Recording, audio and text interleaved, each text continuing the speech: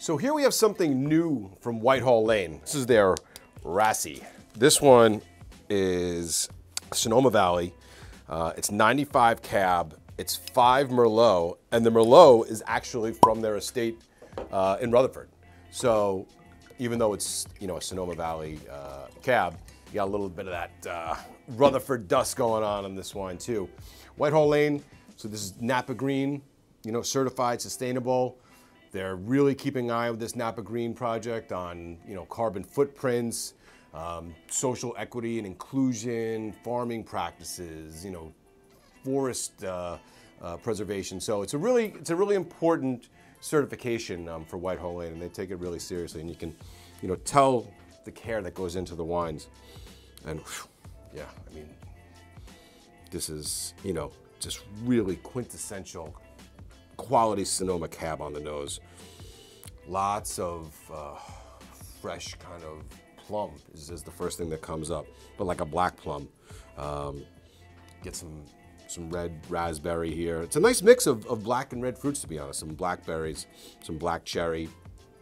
But you also have this uh, kind of rhubarb pie. Um, it's an 18, really solid vintage, but it's got some bottle age, so you're getting some tobacco. You know, I'm getting some sort of roasted chestnut kind of aromas here.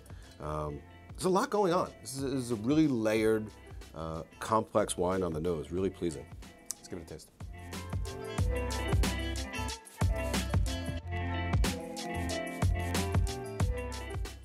Yeah, this is a very rich, mouth-filling, uh, hard to not uh, uh, note that this would be a, a, Napa Cab, to be honest. Um, there's a lot of big, fresh fruit flavors.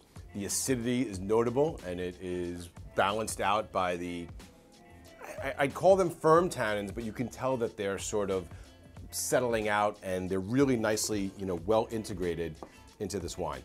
This wine's drinking beautifully right now very expressive, very expansive, but there's no reason a wine of this quality, you know, won't age another five to even 10 years in the cellar, taking on some of those more tertiary kind of tobacco and earthy notes, mushroom, mushroom, that's what I'm getting, mushroom, uh, starting to come out too. So uh, this is at the, at the pricing it comes in, uh, a really good weeknight wine, but there's no reason you couldn't uh, pop open this bad boy at uh, uh, a really nice steak coming off the grill as well. So cheers, enjoy.